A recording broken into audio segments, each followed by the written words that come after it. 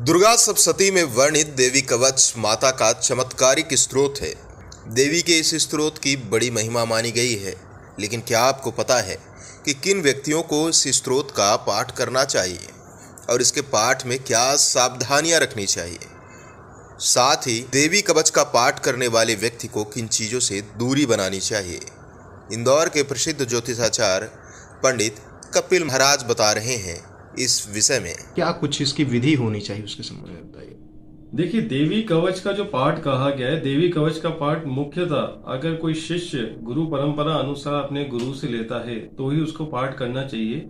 अन्यथा कवच को धारण करने वाला व्यक्ति जो रहता है या तो कोई वॉरियर हो जैसे पहले जमाने में योद्धा हुआ करते थे उसी प्रकार के आज की तारीख में योद्धा कौन कहे गए हैं जो अपने कार्य में अटल हैं।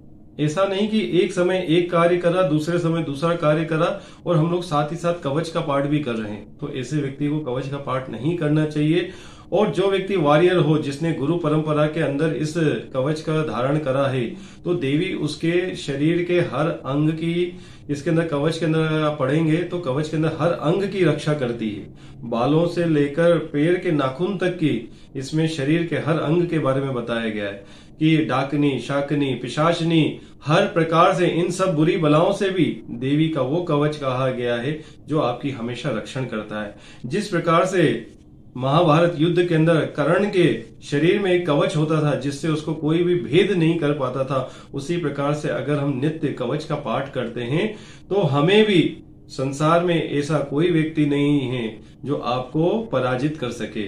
हमेशा आप उससे विजय की प्राप्ति करेंगे।